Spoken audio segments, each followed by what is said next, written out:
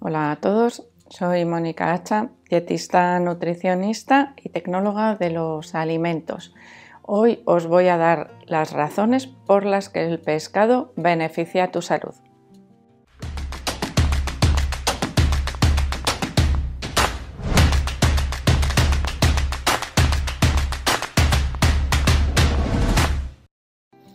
Cuando hablamos de un patrón alimentario saludable, variado y equilibrado, siempre os habréis fijado que aparece el pescado en unas cantidades nada despreciables. Se recomienda incluir pescado al menos tres veces a la semana.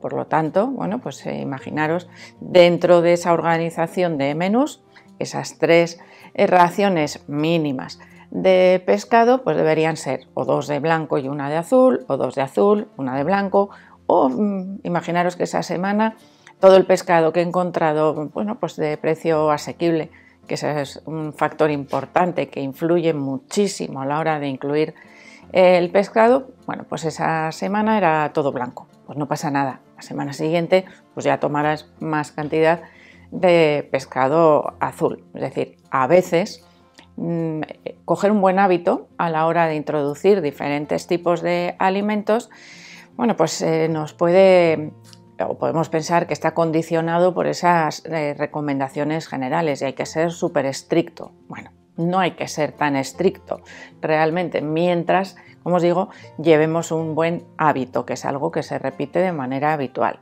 Que una semana tomas dos días pescado, tampoco pasa nada. Que solo uno, bueno, pues ya se irá regulando más o menos con el consumo. Esto es lo que se llama un buen hábito, el que seamos capaces de repetirlo de manera habitual.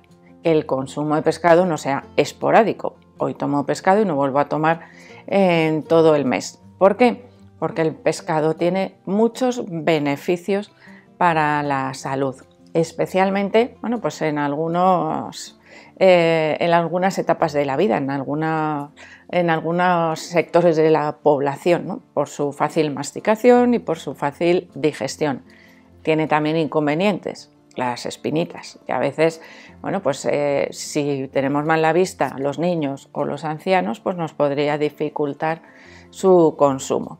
Pero hay pescados de todas las variedades posibles, también podemos utilizar pescados congelados para favorecer bueno, pues que resulte más fácil consumirlos. Ahora vamos con esas propiedades nutricionales, por qué resulta tan interesante el consumo de pescado para la salud.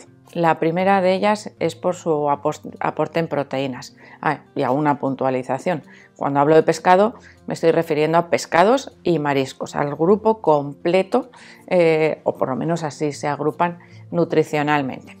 Vamos, eso sí, con las proteínas. Proteínas de alto valor biológico, es decir, que me proporcionan todos los aminoácidos esenciales en unas proporciones bastante favorables para el cuerpo. ¿Esto qué quiere decir? Que existen aminoácidos limitantes, que si no están en suficiente cantidad, mi cuerpo no es capaz de sintetizar tanta cantidad de proteínas. Imaginaros que para formar una torre, necesito en cada piso poner un bloque rojo y solo tengo 10 bloques rojos. ¿Qué podré hacer? 10 pisos, no puedo hacer más, ni aunque me sobren muchas piezas de los otros colores. Esto que es lo mismo que ocurre también con los aminoácidos. Por lo tanto, el pescado me los proporciona todos. Me permite tener después una mejor síntesis de todas aquellas sustancias de mi cuerpo que necesitan eh, esos aminoácidos para sintetizarse, que no es solo la masa muscular, que también tenemos hormonas, enzimas y muchísimas otras sustancias que necesitan aminoácidos para poderse formar. Cuando hablamos del pescado y sobre todo ya sabéis que siempre hacemos referencia al consumo de pescado azul, ¿por qué? Por su aporte en ácidos grasos esenciales. ¿Qué quiere decir que son esenciales esos ácidos grasos? Que mi cuerpo no es capaz de sintetizarlo. Esto no es 100% real en el caso de los ácidos grasos omega 3. mi cuerpo es capaz de sintetizar una pequeña parte insuficiente para cubrir todos los requerimientos. Por eso, los ácidos grasos omega 3 que contiene el pescado son los que mejor biodisponibilidad tienen, es decir, aquellos que mi cuerpo va a utilizar con mayor facilidad. Podemos obtener ácidos grasos omega 3 de otras fuentes dietéticas, también de origen vegetal, como pueden ser los frutos secos y las semillas, pero a mi cuerpo le cuesta más utilizarlos y por lo tanto, bueno, pues tampoco son alimentos que formen parte de la dieta de todas las personas. Así que ahí podríamos llegar a tener, si no hay consumo de pescado especialmente azul, el pescado blanco contiene menos cantidad de omega 3 porque tiene menos cantidad de grasa y por lo tanto si desaparece el consumo de pescado, el omega 3 suele ser deficitario, es decir, escasea bastante en la dieta de la mayoría de las personas. Y estos ácidos grasos omega 3 tienen un efecto antiinflamatorio, forman parte también de las membranas celulares y cuando escasean, bueno, pues se podrían producir problemas de salud, sobre todo asociados a esa flexibilidad que tienen que tener las membranas celulares para dejar entrar y salir pues todo aquello que necesita la célula, los nutrientes, el oxígeno, los radicales libres que tienen que salir, es decir, limita el funcionamiento de las membranas celulares. De ahí la importancia que tiene el mantener un buen aporte de ácidos grasos omega 3 a través de la dieta. Por otro lado, el pescado azul es una de las pocas fuentes dietéticas que tenemos de vitamina D. Hay pocos alimentos que nos proporcionan vitamina D a través de la dieta, incluyendo pescado azul, incluyendo huevos, incluyendo lácteos.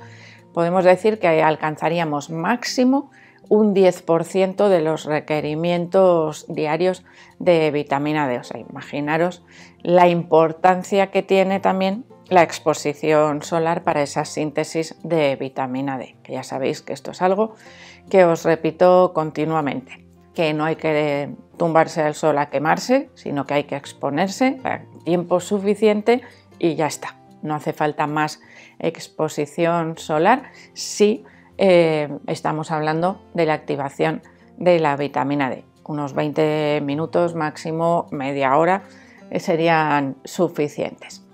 Además de todo esto, pues el pescado y el marisco pues contiene también otros nutrientes de los que muchas veces no hablamos o no nos preocupamos, pero que también son fundamentales para la salud. Esos nutrientes de los que a veces no nos acordamos son lo que se denominan en conjunto micronutrientes y en particular en este caso os voy a hablar de los minerales. De vitaminas hablamos muchísimas veces y de minerales, pues a veces solo de aquellos que tienen especial importancia, ¿no? Por ejemplo, el hierro, el calcio, estos forman parte, creo que, de muchísimos vídeos porque, bueno, pues son minerales que tenemos que consumir en cantidades más o menos grandes, pero que a veces pueden existir problemas, bien porque no hay suficiente aporte o bien porque eh, la biodisponibilidad de nuestro cuerpo pues, se ve reducida por otros factores. Ya iremos hablando de ellos. Por cierto, hay un pescado azul que se suele recomendar también por su aporte en calcio y es un pescadito muy concreto, serían las sardinillas en lata, las que son pequeñitas, esas que nos las comemos también con espina porque no se nota. Por eso las grandes no nos sirven, pero sí las pequeñitas. Cuando hay imposibilidad de consumir, por ejemplo, eh, calcio a través de los lácteos, el consumo de estas sardinillas puede ayudar a mejorar el aporte de calcio. Se concentra en la espina, por eso os digo que debemos comérnoslos con espinas. Si el pescado es grande, olvidaros de comeros la espina porque es muy incómoda y puede resultar en algunos casos incluso peligroso comerla. pero no era del calcio del mineral que os quería hablar hoy os quiero hablar de otros minerales que a veces no tenemos en cuenta. Uno sería el cobre. El cobre es un mineral que está especialmente presente en los mariscos y que eh, tiene muchas funciones en nuestro cuerpo. Generalmente no es eh, deficitario, pero claro, si hacemos limitaciones en los alimentos que nos proporcionan, pues podría escasear sin tener un serio déficit y nuestro cuerpo que hace priorizar aquellas funciones en las que es más necesario. Participa también, por ejemplo, junto con el hierro en el transporte de oxígeno y además el cobre, y aquí igual os resulta curioso, es uno de los minerales necesarios para una buena pigmentación tanto de la piel como del cabello. Y hay diversos estudios que relacionan la escasez de cobre, por ejemplo, con la aparición del cabello blanco, de las canas. Podría estar relacionado también con el envejecimiento, ese déficit esa carencia de unos niveles adecuados de cobre.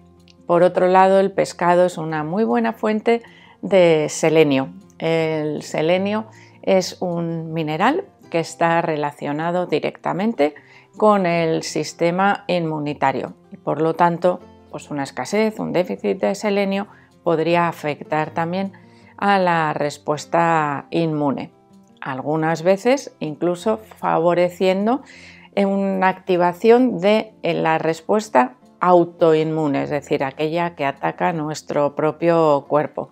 El selenio estaría también relacionado con la salud de la tiroides, algo importante a tener en cuenta porque cuando hablamos de la glándula tiroidea generalmente nos acordamos solo del yodo, que por cierto también es otro mineral muy presente en cualquier tipo de alimento marino. También incluiríamos aquí, por ejemplo, las algas, aunque no sea un pescado, pero las algas, eh, dependiendo en qué lugares, bueno, pues nos pueden llevar a descontrolar un poco la cantidad de yodo, porque es muy alta, eh, cuando no hay hábito en su consumo. El pescado y el marisco serían una de las mejores fuentes dietéticas de yodo, de manera que incluirlo en la dieta nos ayuda a mejorar también la salud de la tiroides. Y cuando hablamos de pescado y especialmente pescado azul, tenéis que recordar las recomendaciones actuales de consumo respecto a la posible contaminación con mercurio. Cuanto más pequeño sea el pescado, menor riesgo. A mayor tamaño de los pescados, mayor acumulación de mercurio. Y algo asociado al precio del que os he citado antes menor tamaño suele tener un precio más económico que los pescados de mayor tamaño. Así que también hay que mirar un poquito el bolsillo. Y así que espero que el vídeo os haya gustado y para aquellos que os cuesta comer pescado, pues que os animéis también a consumirlo con más frecuencia. Buscar siempre ofertas. Recordar que el pescado hay que congelarlo también para evitar la contaminación por anisakis, por lo tanto, aprovechar esas ofertas y congelar el pescado en casa y luego ya iréis consumiéndolo a medida que lo vayáis necesitando. Así que espero que os haya gustado el vídeo, por supuesto que le deis al like, no dejéis de suscribiros al canal y espero seguir viéndose a todos en los próximos vídeos.